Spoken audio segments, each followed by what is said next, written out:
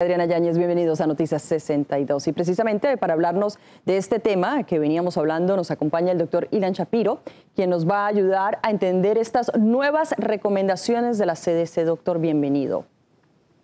Como siempre, un placer y definitivamente es algo muy importante lo que estamos viendo. Hemos esperado que la vacunación cambie un poquito las cosas que estamos haciendo y en este momento va a empezar a mejorar esto. Totalmente. Los lineamientos y las cosas que vamos a platicar eh, quieren decir que vamos a tener mucha más flexibilidad, pero muy importante, no hay que bajar la guardia. Total. Bueno, doctor, la primera pregunta. Doctor, ¿cree que estas recomendaciones son adecuadas a pesar de que aún estamos en tiempos de pandemia?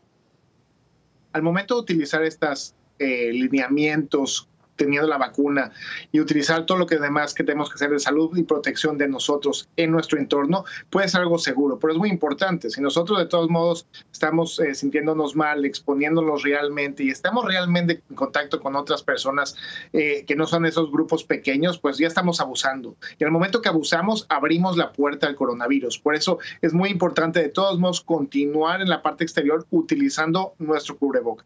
Doctor, yo le quiero preguntar para mucha gente que no le ha dado, que podría tener familiares de la tercera edad en casa, dicen, bueno, qué bueno que ya los vacunaron, pero ¿qué consecuencias nos puede traer a todos los demás el hecho de que esta gente se esté congregando sin mascarilla, sin, sin restricciones prácticamente?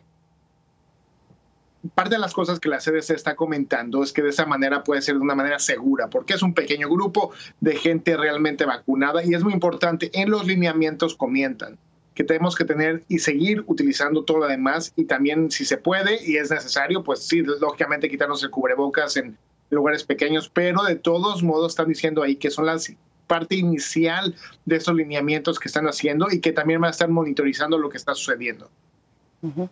Bueno, eh, doctor, y para las personas que viajan por trabajo, por ejemplo, descanso, y que ya se vacunaron, ¿aún están en riesgo estas personas de tomar, por ejemplo, un avión? Hay que recordar que este, esta vacuna nos ayuda, tanto la de Pfizer, Moderna o la de Johnson Johnson, nos ayuda para no terminar en el hospital y no tener esas complicaciones tan horrendas del COVID-19.